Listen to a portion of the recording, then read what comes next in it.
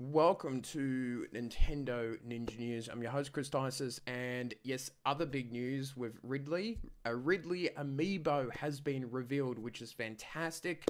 Um, that will be coming December 7th, which is the month for uh, Super Smash Bros. Ultimate, which has every character back in its history. So the amiibo looks fantastic, and I say pre-orders will be going very quick on that one. So that's it for me, and I shall see you later on during this E3 presentations.